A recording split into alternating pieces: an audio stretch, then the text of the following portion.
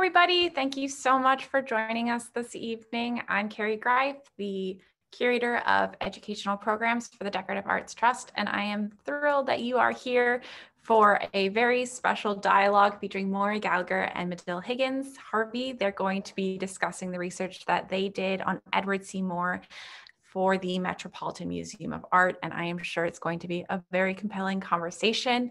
Um, if you enjoy this program, please make sure to come back uh, for a panel discussion that we are hosting featuring auction houses later on this month.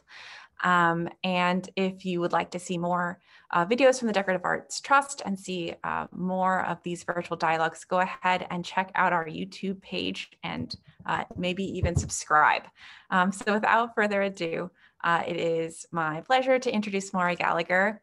Moira is a graduate of James Madison University. She received her BA in art history and holds an MA in the history of decorative arts from George Mason University and the Smithsonian Associates.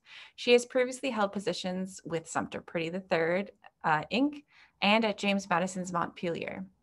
She joined the American Wing in 2014 and conducts research on the Met's collection of American decorative arts. Her presentation tonight comes from her recent work on the forthcoming catalog and feature exhibition, Collecting Inspiration, Edward C. Moore and Tiffany & Co. She has also contributed to various museum publications and special exhibitions, including Jewelry, The Body Transformed in 2018, and Artistic Furniture of the Gilded Age in 2015, as well as the installation of the Worsham Rockefeller dressing room at the Metropolitan. Uh, so uh, without further ado, Moira, go ahead and take it away. Great, thank you so much, Carrie, and uh, thank you to everyone for joining us tonight. So let me just get this PowerPoint situation set up for us and we'll get going.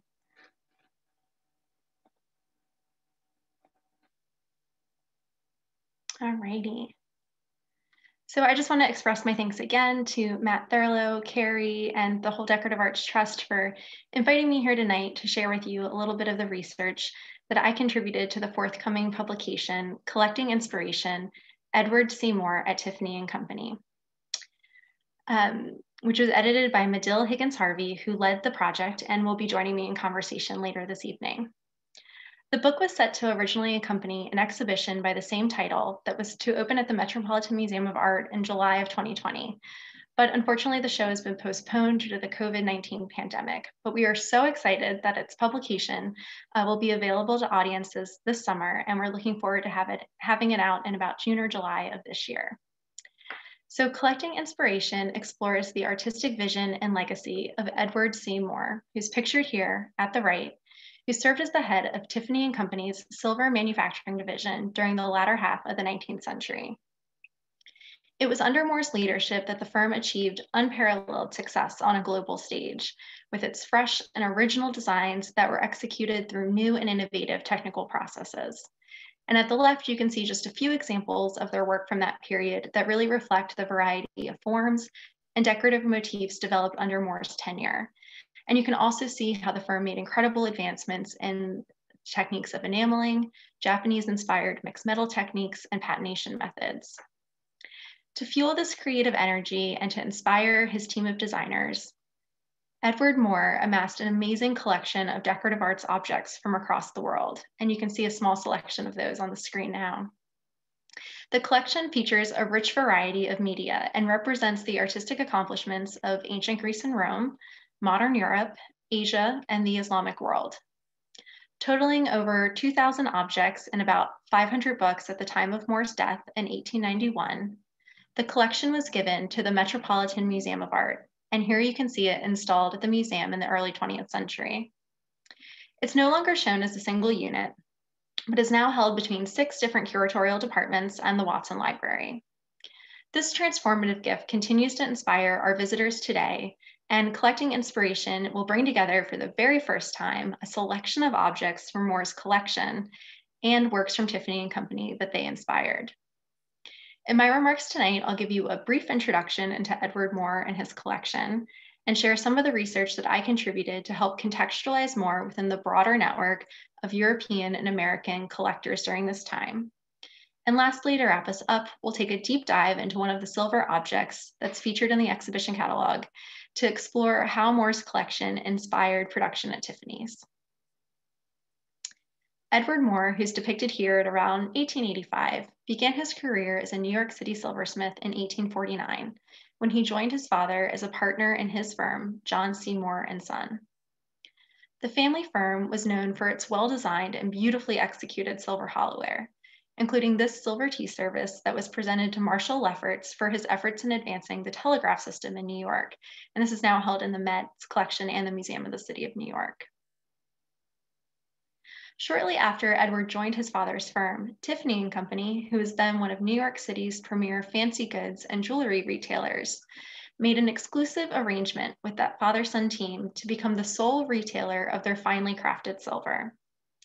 Tiffany & Company, which is shown here at their 550 Broadway store location that opened in 1854, was rapidly expanding their enterprise and that they sought out the Moore firm to be their exclusive wholesaler of silver bears witness to the Moore's highly regarded reputation in the field. Edward quickly rose to prominence and was recognized early on for his creative designs and leadership. A lengthy account of Tiffany's showroom was published in the New York Daily Tribune shortly after the 550 Broadway store opened.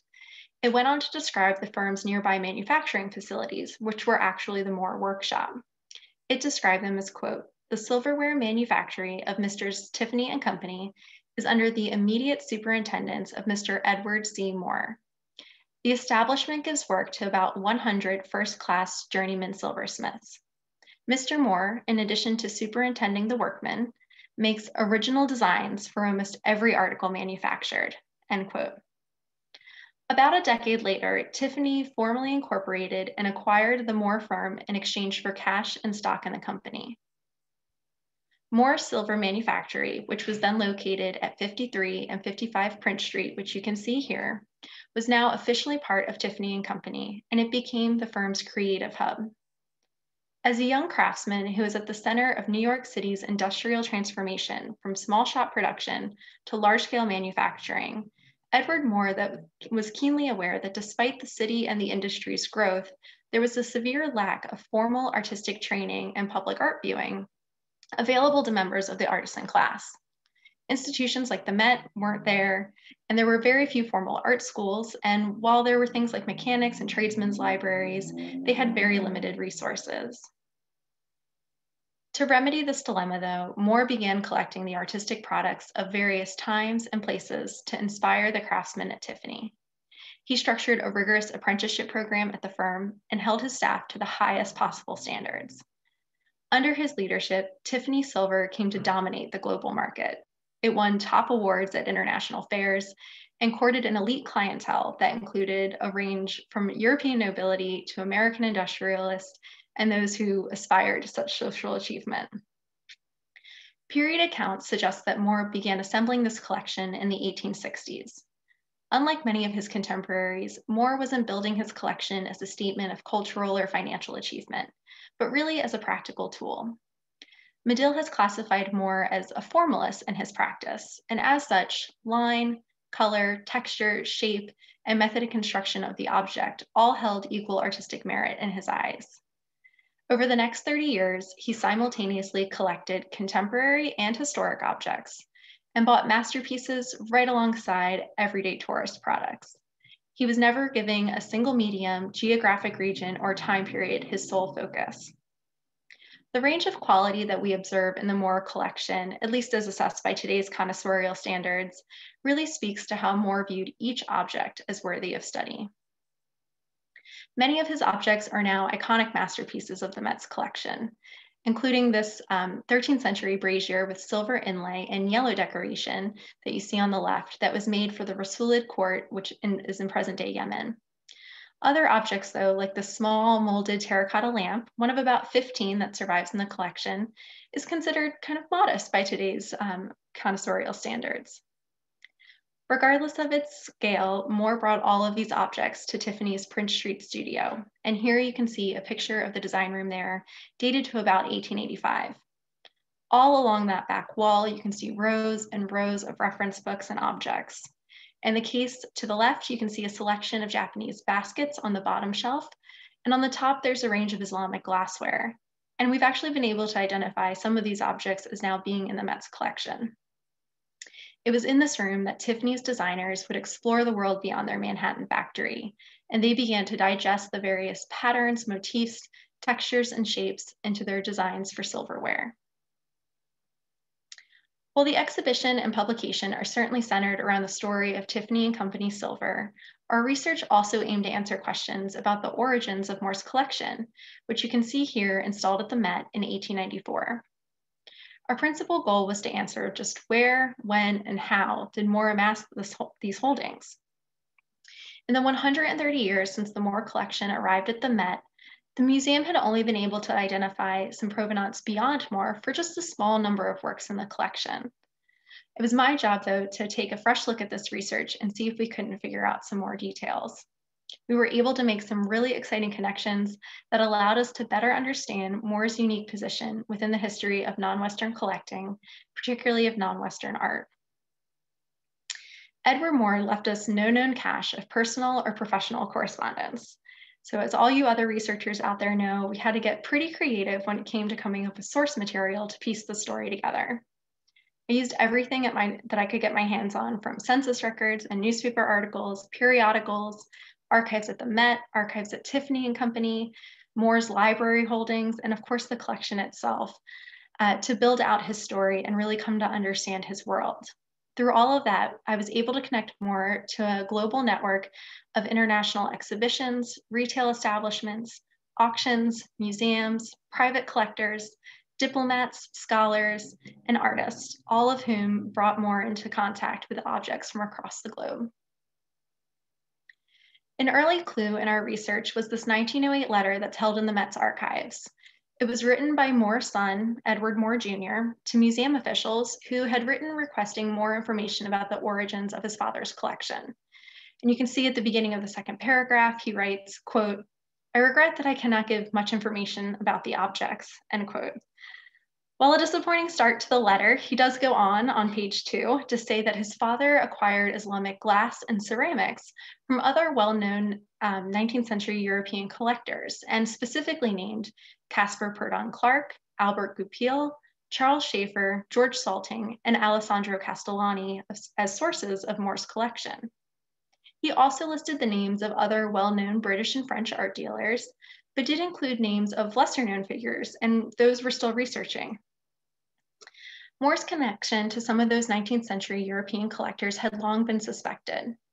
For example, four examples of ancient glass from Moore's collection, two of which I'm showing you here on the left, had been identified as coming from the collection of Alessandro Castellani, which was auctioned in a two-part sale held in Rome and Paris in the spring of 1884.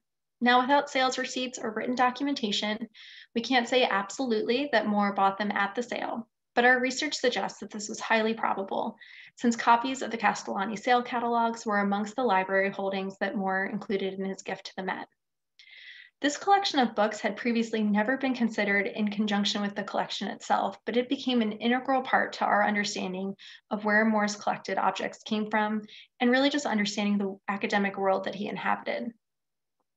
We suspect that Moore may have attended the Castellani sales himself, since we know he traveled to Europe almost annually. He would frequently visit Paris and London, where Tiffany had branch stores, in addition to making various trips to attend the International World's Fairs on behalf of Tiffany and Company. He could have purchased the objects also through an art agent, and we suspect that was most likely his good friend, the art dealer Samuel P. Avery, who we know served as a pallbearer at Moore's funeral and is listed as the New York agent in both of the Castellani sale catalogs. And Avery's name also appears in numerous other books and auction catalogs that are held in Moore's library. In that 1908 letter, though, Moore Jr. specifically acknowledged that his father acquired Islamic objects from Castellani and didn't mention the ancient glass. So this made us wonder what else were we sort of missing that Moore may have acquired from the renowned Italian collector. We turned to a newly analyzed inventory of Moore's collection that was held in the Met's archives. It dates to just about the time of the bequest and specifically described this luster bottle on the left and the 18th century bowl on the right as two artworks that Moore somehow acquired from Castellani. Neither object matches entries in the 1884 sale catalogs, so we know that Moore acquired them through some other means. When one considers that Moore and the Castellani family, who were well-known jewelers during the, this time, both shared a deep passion for utilizing objects from the past to inspire contemporary artistic production, it seems probable the two men may have had a more personal friendship. We'd also long suspected that Moore purchased objects when he traveled to the various international World's Fairs that he attended on behalf of Tiffany and Company, but we really couldn't pin down a specific object. An 1893 newspaper article covering Moore's bequest to the Met did highlight a damascened plate that Moore purportedly purchased from the 1873 Vienna exhibition. With this information, we went to our colleague, Associate Curator of Islamic Art, Deniz Beyazit, who identified a couple of the objects in Moore's collection that fit the description. And one of them I'm showing you here, which features a beautiful, delicate gold thread damascened into the steel tray. Well, you can absolutely imagine our shock and amazement when we went to see the object for the first time in our photo studio and turned it over and saw this incredible label on the back of the object, which in fact confirms that it was the object Moore purchased in Vienna in 1873. And you can even see it notes that it was from um, the display brought by India. We had some really interesting conversations with Deniz about the description of it as a card tray, suggesting that it was intended for the Western market. Well, this is certainly an incredible discovery and one of many that we made during our research for the show. One of my absolute favorite research projects, though, was coming to a better understanding of Moore's relationship with one of his sons, named William P. Moore. My research revealed that William was an active art dealer in New York and was a key part of his father's collecting activities. William began his career at Tiffany's, but with his father's financial backing, he started his own bric-a-brac business in 1877, the first known ad of which I'm showing you here.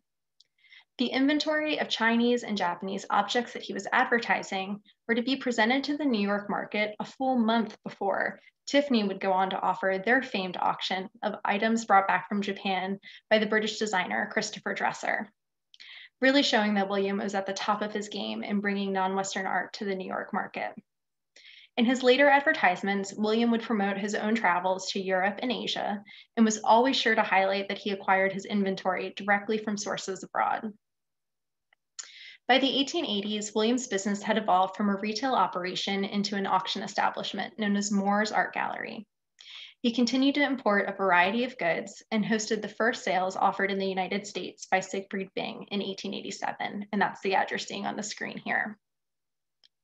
A diary entry written by a Tiffany Company employee named Charles Grosjean, who served as Moore's sort of number two man at the Prince Street factory, confirms that William often purchased items on his father's behalf. In an entry dated 1881, Grosjean describes a Persian luster bottle that Edward Moore had brought to the design room and noted that Moore had paid 1300 for it, but quote, Will had asked 1500 for it and paid 1100 in Paris for it, end quote. Unfortunately, Will, William predeceased his father, dying in 1890 at the young age of 36. When his father died just about a year later, one obituary commented on their shared legacy. It stated, quote, his son, William P. Moore, had inherited his father's artistic inclinations to a truly remarkable degree. Young Moore was one of the best judges of porcelains and oriental glass I'd ever met, end quote. The contents of William's own collection remains unknown, but I can't help but wonder that if after his death, some of his objects found his way into his father's hands.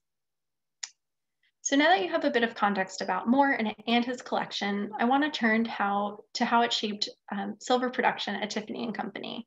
And here you can just see an incredible selection of objects produced under Moore's tenure. So scholars had long been aware that Moore's extensive collection existed and that it had influence on production at Tiffany's. And so when Medill first began the project, she expected that we'd find a number of sort of one-to-one -one comparisons between the Tiffany silver objects and those in the Moore collection, such as this previously published comparison between a bronze Japanese brush pot in Moore's collection, which you're seeing from two different angles here at the center and on the right, and this silver Japanesque vase uh, by Tiffany, dated to 1877, that's now in the collection of the Brooklyn Museum. You can of course see that the central element of the silver vase mirrors that of the brush pot, both in its form and decorative scheme.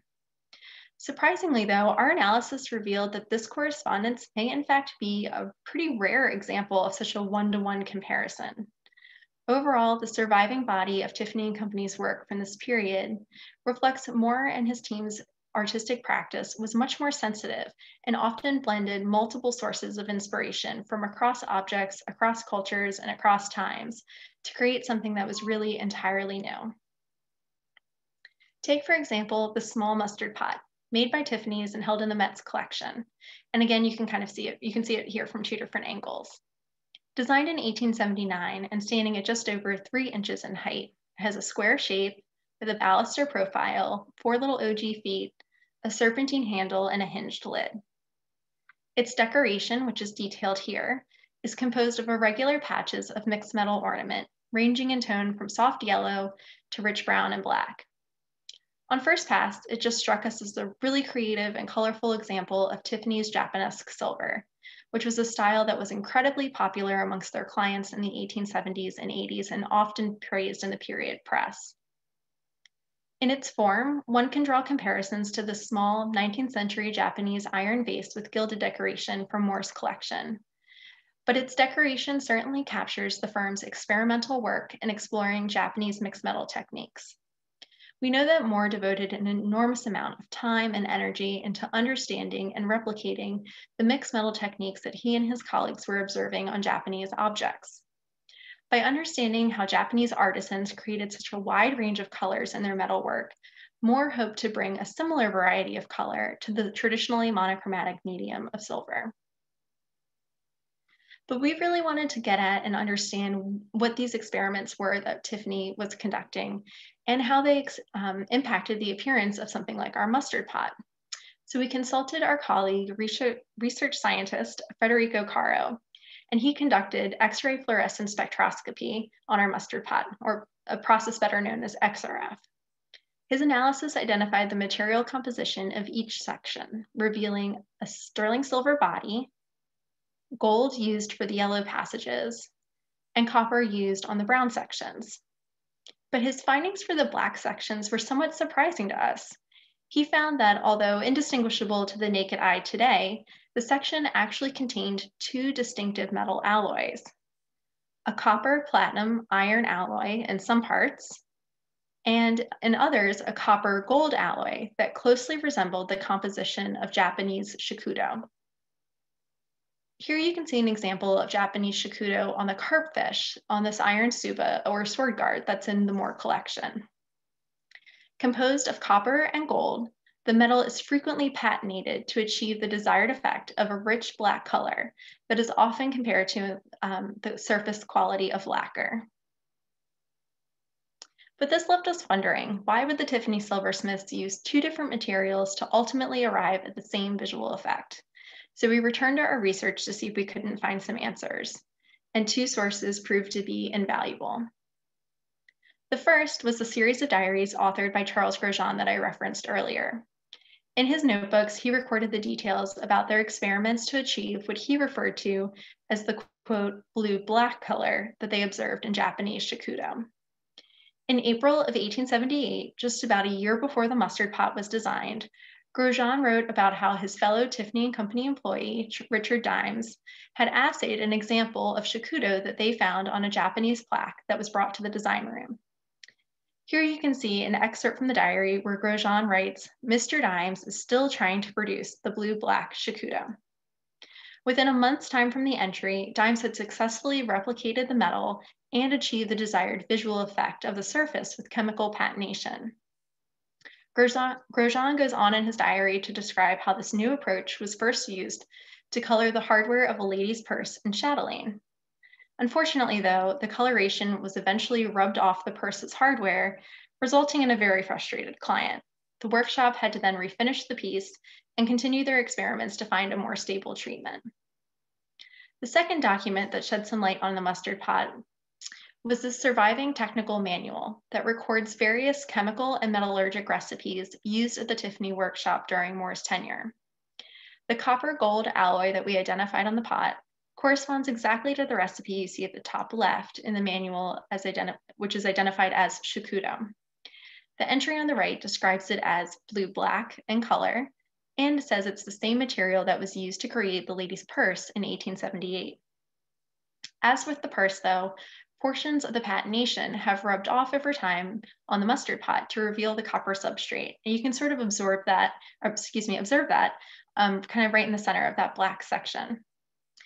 The other alloy of the mustard pod um, that Federico identified as the copper, platinum, and iron alloy matches the recipe listed below for metal number 47.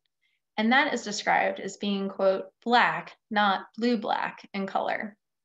This subtle yet marked difference in tonal quality suggests that what we now see as a monochromatic section was originally intended to have two distinctive colors.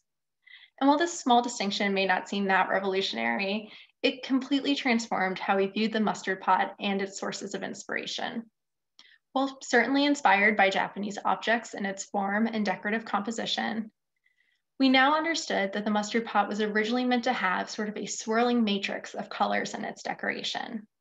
This immediately brought to mind for us Moore's rich collection of Greek and Roman mosaic glass. He has an impressive collection that included rare and many rare vessels, including the lidded pyxis at the top right and the large bowl that imitates agate on the lower right. His collection also has a number of glass, small glass fragments, which were incredibly popular amongst 19th century collectors. While the mustard part is just, pot is just one of many examples we discuss in the catalog, it really exhibits how Moore and his designers and silversmiths utilized his collections. They experimented, they learned from these materials, they drew from the aesthetics, and brought all of that inspiration together to create new and refreshing compositions. While the resulting silver works are deeply indebted to their sources of inspiration, they are without a doubt something entirely all their own. And with that, I would like to invite Medill to join me on screen. Medill, are you there? Yes. Medill is the Ruth Bigelow Wriston Associate Curator of Decorative Arts at the Metropolitan Museum of Art. She has conceived of the Moore Project and has been its lead curator. Medill, thank you so much for joining us tonight. I am I am thrilled to be here. I, I have to confess to obviously not being an impartial audience, but it is so much fun to to get to go on this journey listening to you and being reminded of, of how much fun we, we had along the way. Thank you. I was hoping you could start us off tonight by talking a little bit more about how you came to know Edward Moore um, and some of your goals in bringing together the work for the exhibition and the publication that we worked on. Well, yeah, so I, I, I started to dip my toe into 19th century silver back in graduate school and in my, my first years working at the Met, I was pulling together lists of 19th century silver for the exhibition Art in the Empire City and stumbled not just across Moore, but across the fact that the Met had objects that he had collected. And so often we're trying to sort of imagine or piece together what people are looking at. And so I was absolutely fascinated that we had this collection and that that it seemed to have been very little studied. I mean, there have been some some focused uh, work that has has drawn on it to a certain extent, but the Met itself had never really done had since the objects were were dispersed to various departments, had never been shown together, had never been discussed or um, explored in an exhibition. So I kind of filed it away and was uh, busy doing various other things, but it was the sort of the dream that I, that held uh, fast that I really wanted to tell his story and to and to look at, at the role his collections played. And so a number of years ago, uh, pitched the idea to, to great enthusiasm and that is what started us on on this journey. And it, really was lucky timing in a way because various departments that own his collections at the met had in the course of telling their own histories started to stumble across this man edward moore who they'd never heard of but if they the, as the asian department and the islamic department were were marking anniversaries some of the earliest parts of their collection came from this man edward moore. So i'd get a call saying I see he's a silversmith. What's his story? So so it was it was well timed as as people were were across the museum starting to be really interested in in telling both the collecting story and the silver design story. Yeah, absolutely. I think they just dovetail together so well. It's it's not just a Met story. It's really this the story of 19th century silver, in addition to parts of the Met's history as well, um, and really bringing those two things together in an exciting way. Well, Moira, since we're, we're, we're, we're, chatting and I get to ask you questions uh, too, as I was, I, was, I was listening to you, it really brought me back to the moment when we aggregated all of this research and had to really think about the stories that ended up on the cutting room floor, the stories that made it into the book, the stories where we had a file of hundreds of pieces of paper and I ended up summarizing in two or three sentences uh, to make word count in the, in the book. And I think it would be fun to hear from you about the, the, the stories that didn't make it into the book and particularly the things that you would like to continue to explore and, and, and tell in, in other forms and venues. Oh man, well that is just a long list. you know that well. Um, so yeah, I mean, I feel like at every twist and turn in the in researching the story, we were always coming across a, a new name or um, a new connection that Moore had to somebody, some other well-known figure from the period. Um, you know, we referenced Siegfried Bing in the presentation, and I think that um, avenue has a bit more to sort of be teased out of um, from it. Obviously, um, his son had this connection with him. And we also know that his son, William, uh, so I, I guess I'd have to say my short answer would be his son, William Moore. I think he's yeah. one of the most fascinating figures in the story and, and the least well known. Um, you know, he had relationships with Herter brothers and was auctioning off some of their um, collected objects over the course of the 1880s as well.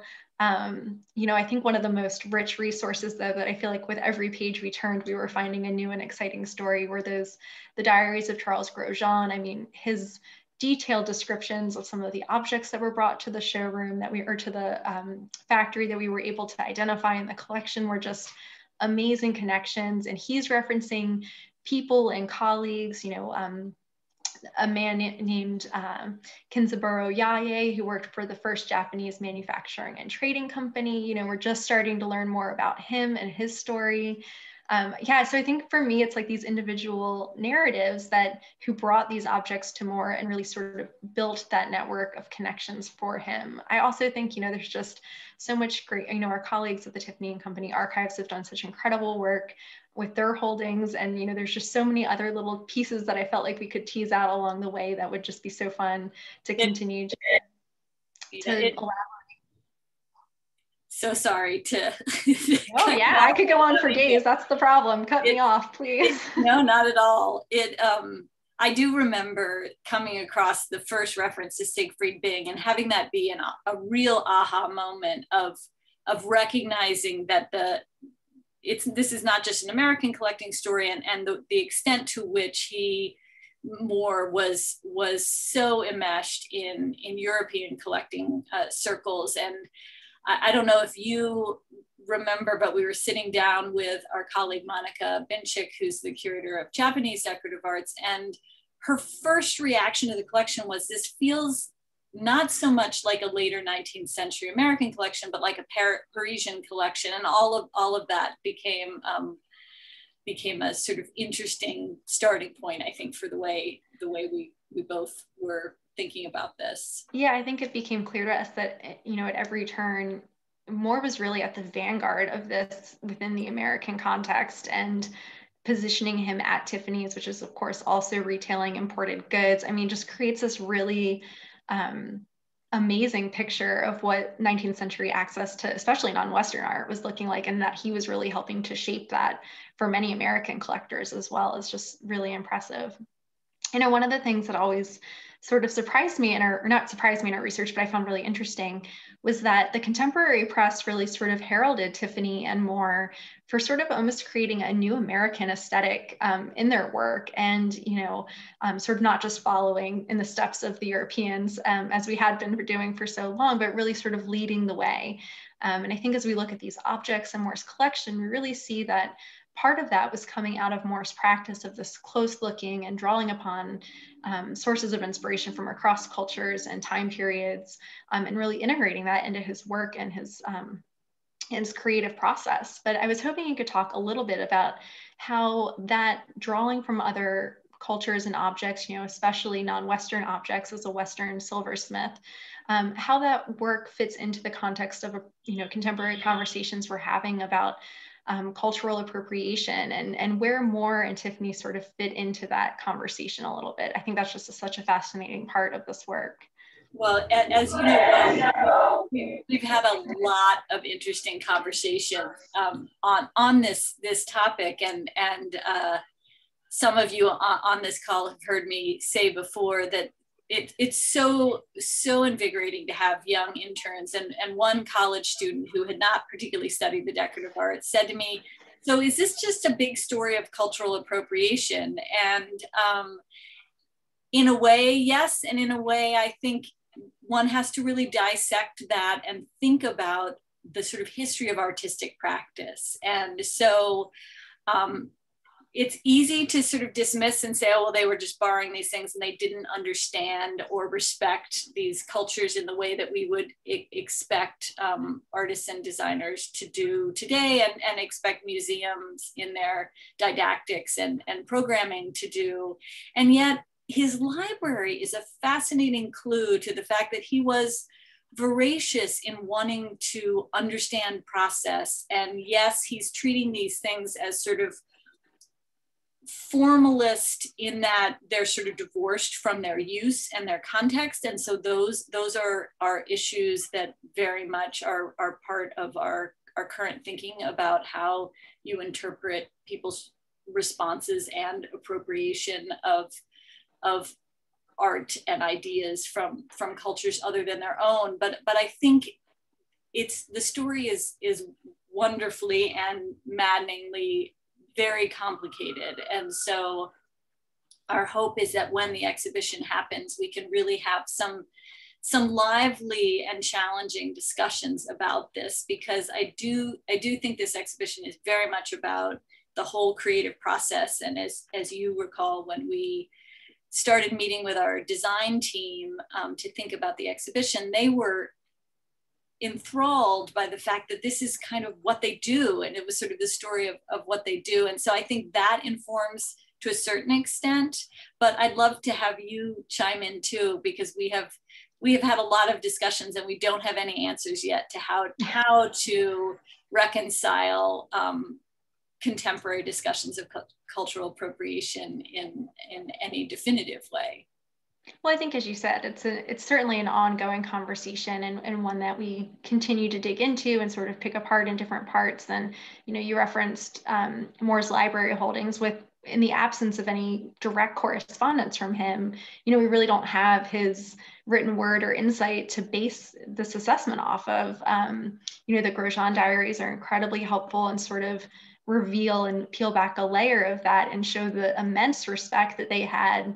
not only for these physical objects and, and coming to understand them but for their colleagues that they were interacting with from across the globe as well in their expertise and learning from them and really sort of having this um, you know back and forth exchange that it really wasn't just a one-way street of observation that they were really um, engaged with the material and the culture to some in some regards um, that I think we are we're sometimes quick to brush off in a contemporary context, like, oh, they didn't know what these objects were, or they didn't understand where they were coming from. And I think we are starting to get a better sense that that might not have always been the case, at least with Moore and um, and his colleagues. And uh, with that, Carrie, I think we're uh, we'd love to open up to some other questions if um, if there are any that have come through here. Yes, yeah. we have a few, and that was a fascinating discussion. Um, and I'm going to start off with a question that came up in my mind when you were discussing um, that tea service. Uh, I think you said it was owned by the Met and the New York Historical Society. Marion Pollock was asking, um, how can the tea set be held in two museum collections? Well, you know, we always like to make it complicated, but the Leffert service is um, owned between both us and the Museum of the City of New York. Uh, they own the um, the larger jug that was pictured in that service. So we own three pieces, uh, four pieces if you include the tray, which isn't by Moore, but another um, English firm. Um, and then they own the fourth piece of the service. Yeah, so it's the that right?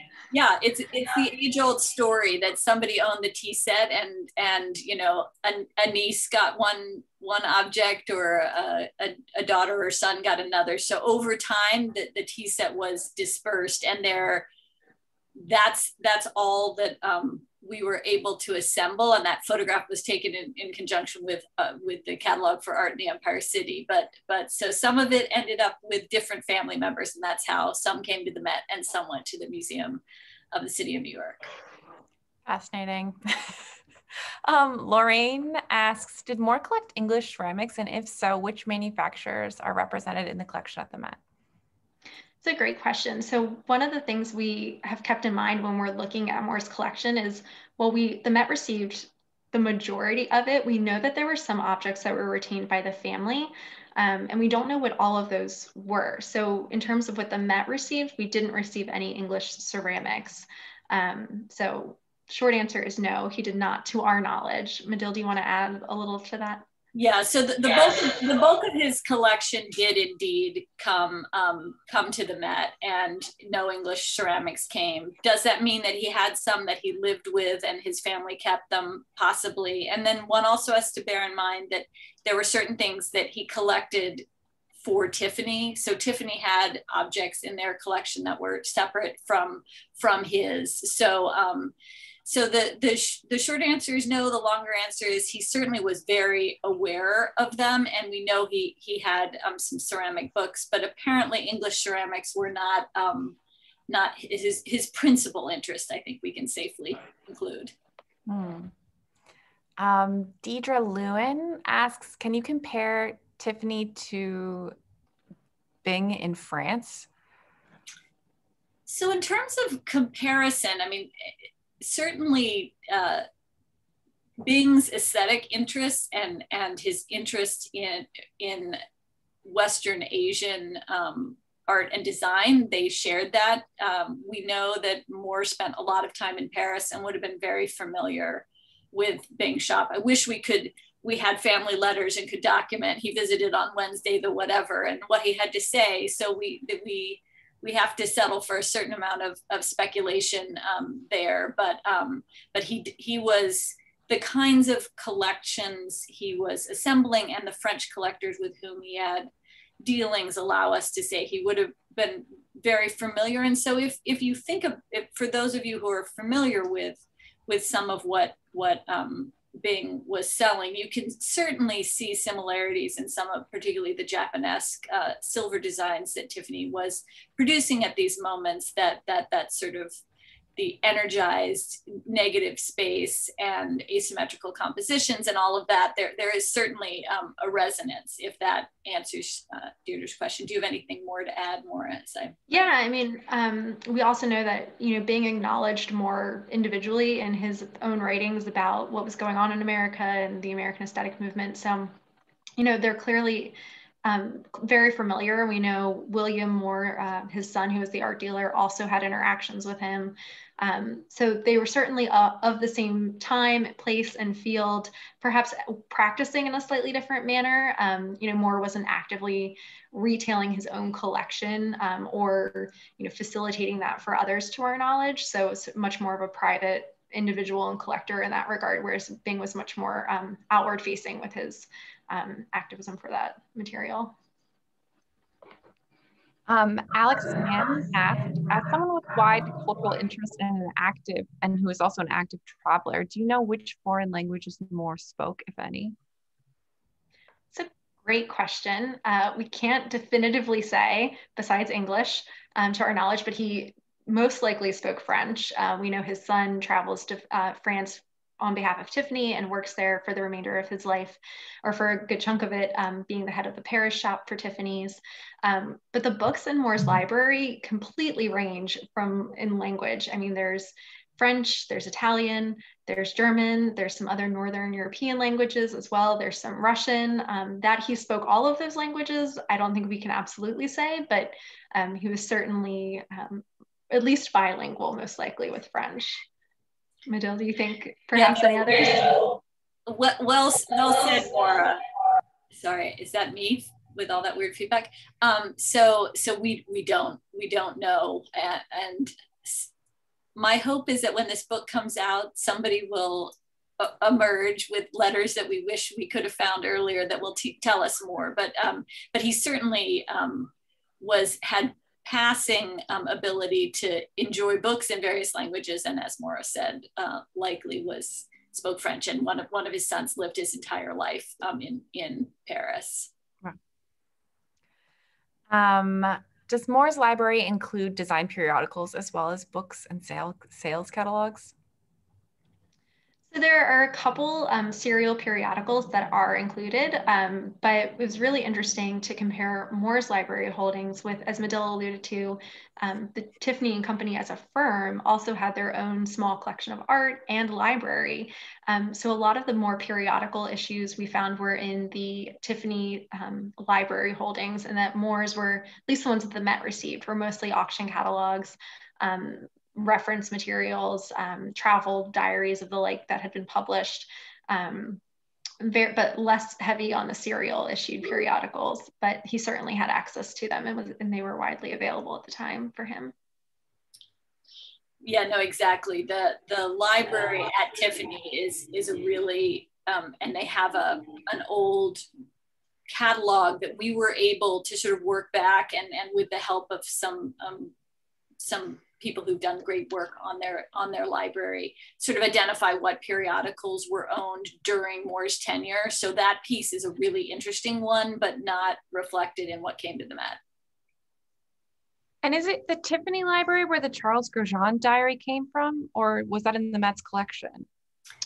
No, Medill Medill help was like the integral part of this discovery, so I'll let her tell it. But well, no, I, I, I peeked at the visitors, and I think I think I see that Spencer is, is still um, on the call. So um, interestingly, the Grosjean Diaries and the Tiffany Technical Manual live at Brown because they're part of the Gorham um, holdings, and um, they have uh, um, various different people have told me about them at, at, at different times before I dove into this project, in, in, including Spencer and, and Mark. And um, they, we don't know exactly how they got there. If you if you re, if you read all of my uh, nitty gritty footnotes, you will learn that my theory is that um, that Osborne, um, Grosjean was was very close to him, was a, a, mentor of one of the designers and silversmiths um, named Osborne. He ended up,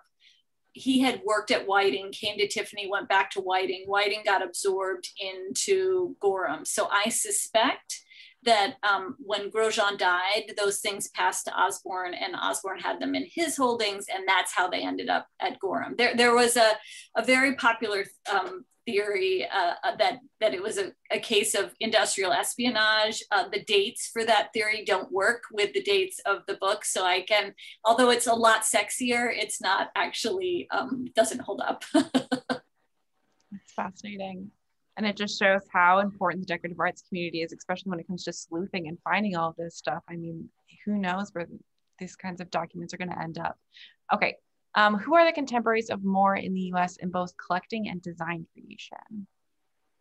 Hmm. Ooh, another great question. Um, I'd say in terms of collecting, um, I mean, definitely people like Mary Morgan, who's maybe lesser known to some people today, but she, of course, had this incredible collection of Japanese art.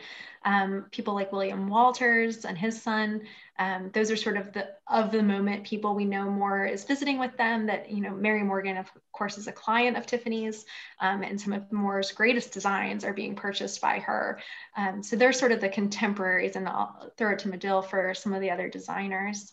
Well, yeah. In, in terms of collecting, it really is um, he's ahead of his time in that the the the kinds of people who are collecting this material tend to be Havemeyer era and and and later. And and in the case of all of our colleagues who were specialists in this material they sort of confirmed that um, that he didn't have a lot of American contemporaries. And most of the people collecting the way he was are, are Europeans, but um, Moira quite rightly points out Mary Morgan is a really interesting um, contemporary and, and Samuel Avery is, is an important um, uh, American contemporary. And then in terms of um, design creation, um, Gorham and Whiting are, are very much going and, and competitive concerns at, at the same um, moment. And that's the, the story of this, this man, um, Osborne, who I mentioned. He talks about needing to leave Whiting because the only way he's going to get better at um, at his craft is to study with Moore. So um, although everybody who works on these kinds of projects falls in love with their subject matter and, and is no longer impartial, I think it's fair to say that, that Moore was um, the, the, leading design force at that moment, but he had plenty of competition and, um, and there were many, many others um, doing similar types of work, particularly at, at Gorham and um, to a certain extent at Whiting. Can you talk a little bit about the impact that this that the Edward C. Moore collection made on the Metropolitan at that time? I mean, were there other um, donors giving collections of this caliber and size, and kind of what has been the resounding impact of, of this amazing group of objects?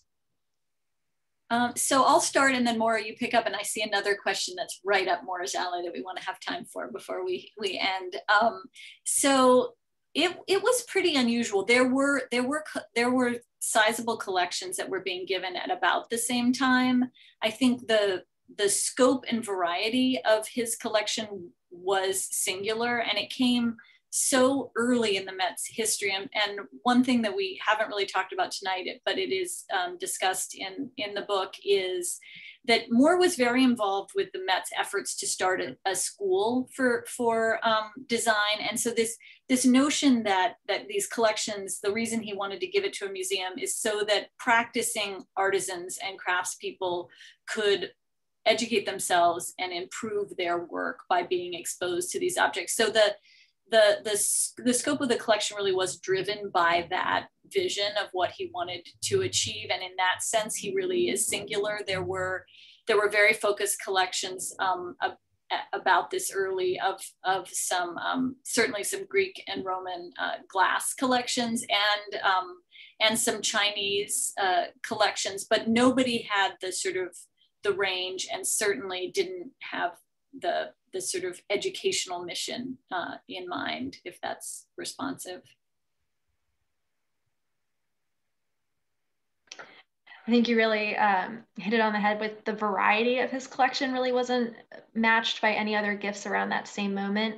Um, and also too i mean in terms of lasting legacy i mean th- these were some of the foundational gifts for many of the departments that now exist at the met. So before it was sort of all one you know met collection and and now it's been divided out into all these other departments. And really i mean especially in the islamic art department his objects are anchors of those galleries and really some of the most incredible masterpieces in our holdings. Um, so really just a, a, great range. And then you know some of these um, european glass that he collected maybe doesn't get as much glory these days as it once did, but is an incredibly rich collection and a variety and of time periods and manufacturers, both contemporary to Moore and historic objects, um, and just have really shaped and, and at least this project I know, at least for us, has helped our colleagues sort of revisit some of that work and um, see it in a new light. So it's been a really exciting way to engage with the collection some more. Yeah, in a way, the Met, sorry, the Met really was a collection of collections. So this kind of um, the breadth and size of the Moore collection was singular, but you had people who were donating painting collections. You didn't have specialized departments the way you do now, and instead you would have, you know, a collector would give a group of objects and they would be seen as the sort of manifestation of that collector's holdings. And, um, and so that, that whole, like the the Edward Moore room. That's that that was it was not singular. That was sort of how the collections were were organized in those those early days. But I'm going to stop talking so we can get to some of these other questions. Okay. Um, did you find the connections between Moore and any connections between Moore and Salviati? We did. Um, so Moore's everywhere. You, um, for the most part, you give us a name, we could probably find that six degree of separation. But um, Tiffany and Company was actually retailing uh, some of the earliest Salviati productions. Um, and then there are some examples in Moore's collection of European glass um, that have been identified as such. And we also know that um, Salviati and other companies were replicating objects that exist in the Moore collection. Um, they may not have been in Moore's collection at the time that they were being recreated, but um, but they were known within the universe um, at that time. And so to see that Moore is also collecting objects that are being reproduced by contemporary um, artists and, um, and uh, other decorative artists is just also really interesting to think about what he's collecting and how he's bringing it in. But yeah, Moore definitely had a connection to Salviati.